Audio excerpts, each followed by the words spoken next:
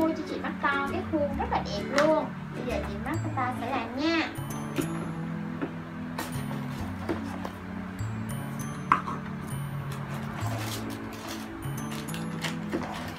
Đây.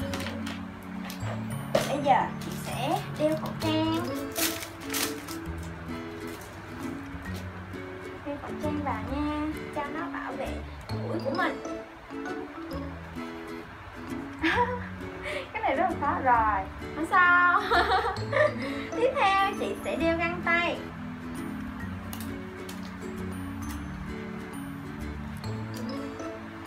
Đeo găng tay găng tay.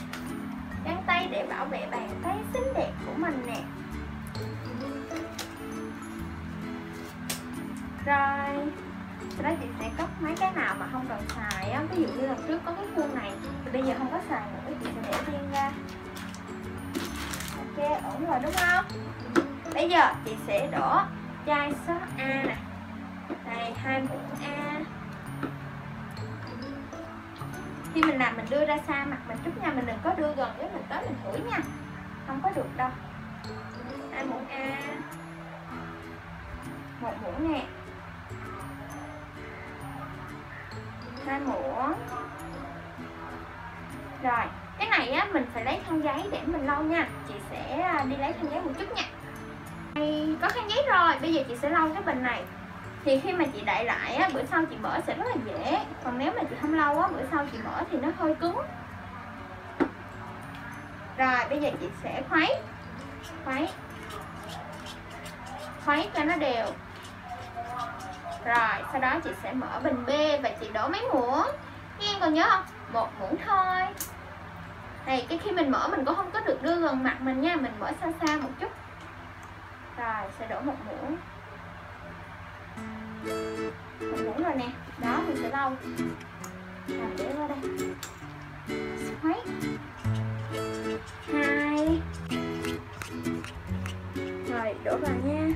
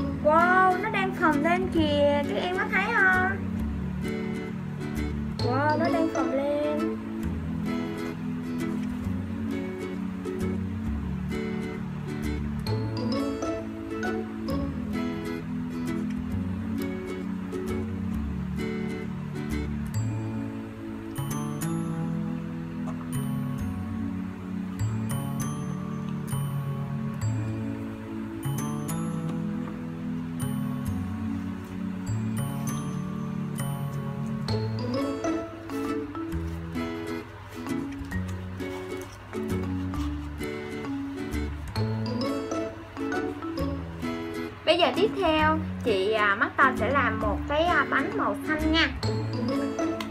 Mình sẽ đông vẫn như là cũ hai muỗng. Một muỗng nè. Hai muỗng. Và nhớ đâu chai. Sau đó chị sẽ bỏ à, màu xanh vào. Đây là màu thực phẩm chị sẽ bỏ một một giọt thôi rồi, một giọt, sau đó chị sẽ khuấy lên. Bánh một khuấy lên nè, và sau đó sẽ chuẩn bị một muỗng bê nha. Đổ một muỗng bê vào. Vậy thì bánh của mình sẽ có màu xanh. Rồi, một muỗng bê. Sau đó sẽ khuấy. Một, hai, ba.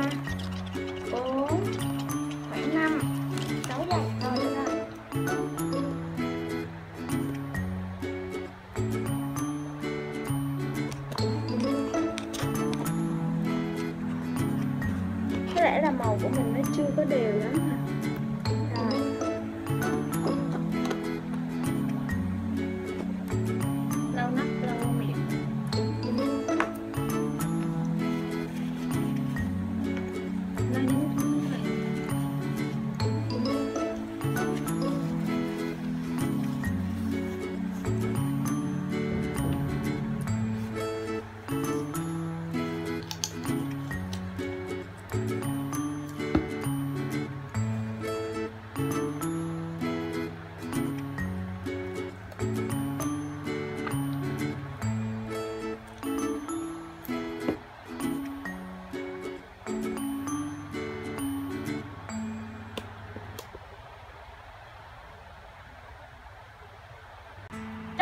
chờ đợi thì mình sẽ không đụng vào cái sản phẩm Squishy của mình nha. Mình để im như vậy và mình tháo găng tay ra.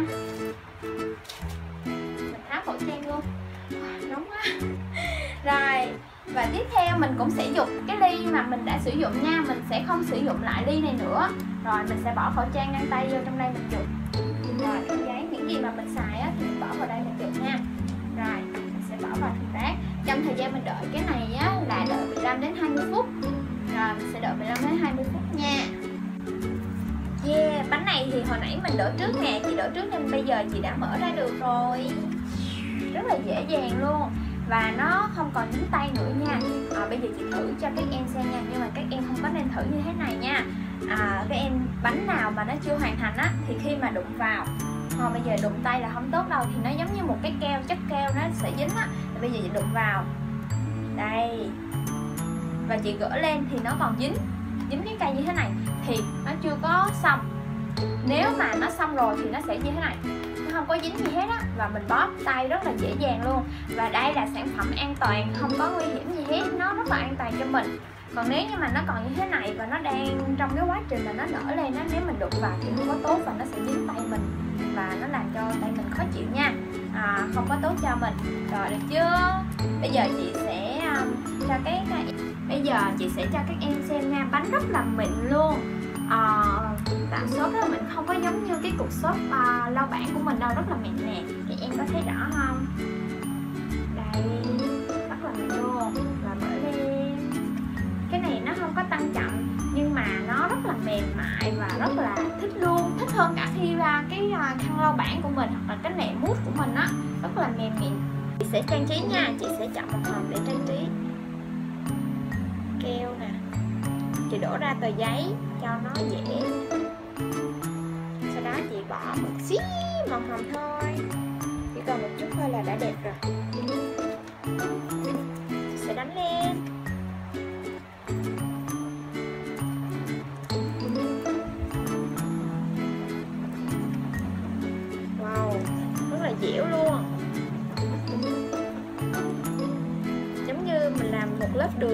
Cái bánh vậy đó.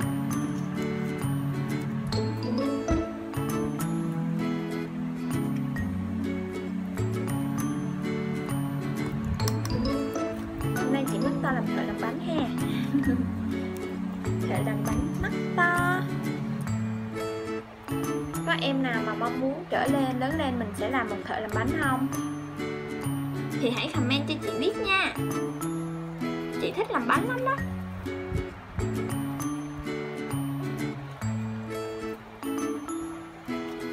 À, hơi ít kem một chút ha hơi ít hồ một màu một chút. Chắc là chị phải pha thêm một chút nữa.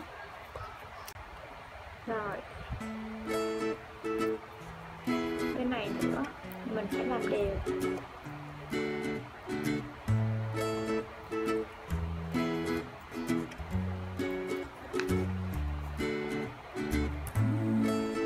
Sau khi mà mình bỏ um, cái lớp mà cây sữa này lên với lớp màu này lên đó, thì mình sẽ bỏ cốm nữa nha. Giống như bánh gì đó. Chị chỉ thiếu một chút màu ở phía dưới thôi nó là giống màu cái màu bánh nướng á mà chị không có trang trí hôm nay chị không có trang trí. Thì bây giờ chị sẽ bỏ cốm lên. Khi mình bỏ cốm lên đó thì mình nhớ lấy cái cây mình đè nha.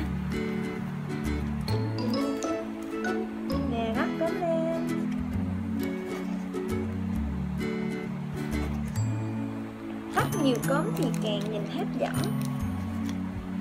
rồi, sau đó sẽ lấy cái cây đè nhấn nó xuống, cho nó dính với cốm này. Khi mà nó khô thì nó sẽ không bị rớt ra.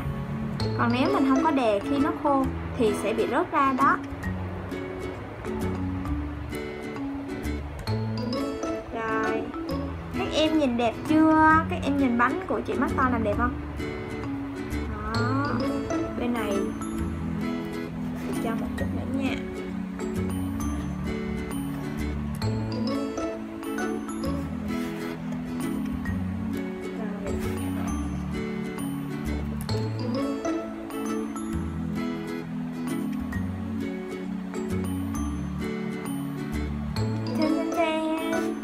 Đây là bánh của chị mắt to đây. Có thích không? Nếu các em thích, hãy cho chị một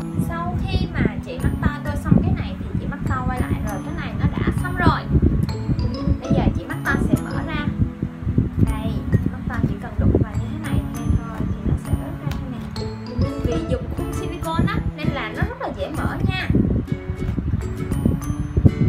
Đó. Wow, bánh lá dứa.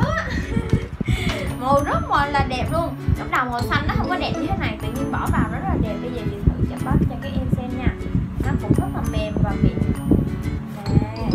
mềm và mịn luôn thôi, bánh này chị không muốn trang trí đâu. Chị chỉ muốn trang trí một bánh thôi một hồi, chị làm, chị đã thành hai em squishy, đã làm được hai em squishy.